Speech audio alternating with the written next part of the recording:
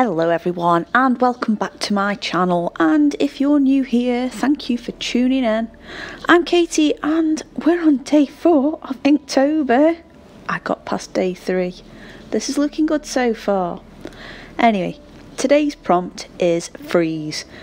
So I'm obviously drawing something cold and I've gone straight in there with icicles. So I've started with the black watercolour paper again. I wanted to have a nice contrast with the frozen bits and the non-frozen bits.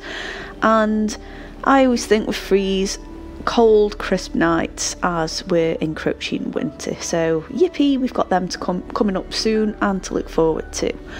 So my first in initial laydown of ink was a Sakura glaze pen and I'll talk about those a bit more in another video perhaps but I did used to use these a lot with water-based markers to create a resist and that was quite a nice effect. However, I knew that by adding a shiny surface to the paper it would bring out the depth of the black paper and also they kind of look like icicles and frozen. That, that's totally my justification here. I've also used the white outer ink and the glass pen. I also used it with a brush just to create a nice subtle effect. And to create the nice diamond dust on the branch, I also used the Sakura Gelly Roll pens and a Sakura glitter pen.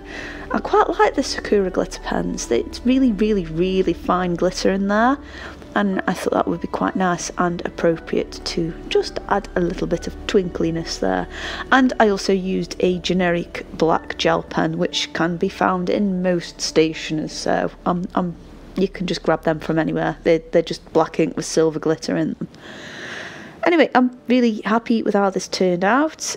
It's a bit of a weird one because there are two sort of frozen kind of themes for this year's Inktober. We've also got snow coming up later on, so I wanted to avoid having snow for this one. So I'm prepared for the next one, if that makes sense. I also wanted to add a little owl in there because he's all nice and warm and cosy, and even though it's night time, he's having a nap, and I'm totally on board with that.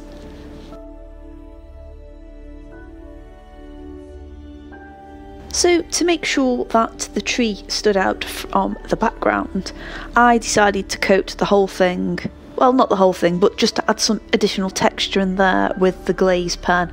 And it's a bit weird because it sort of goes down a weird blue colour and then when it dries it's completely clear and I really like how that makes the whole thing stand out in front of the background I think that's pretty nice cool effect and I actually forgot what I could do with these pens. So I'm kind of enjoying Inktober because it's helping me use up and reevaluate what pen and ink supplies I have in at the moment. Let me know if you guys feel the same and I'd love to hear how apart from the stressful side of things, but I'd love to hear how Inktober affects you as an artist as well and if you find it enjoyable or if you find it stressful or if you find it's a nice way to rediscover or discover new materials let me know in the comments. I'd really like to hear that. As you can see the light reflecting on it just really adds a little something extra. So I just want to say thank you so much for joining me on day four. It really is a miracle I've made it this far but I'm really really humbled and warmed by all the nice comments people have left and the interaction with you guys. It really makes it feel like I'm not just talking into a microphone and I'm engaging with you, and that's really nice. And I really appreciate that you're enjoying my videos. Anyway, fingers crossed. Let's see if I can make it to day five. I'm not looking forward to day five. It just seems a little bit too. Well, we'll see. Anyway, don't forget to hit like and subscribe, and I'll see you soon. Bye!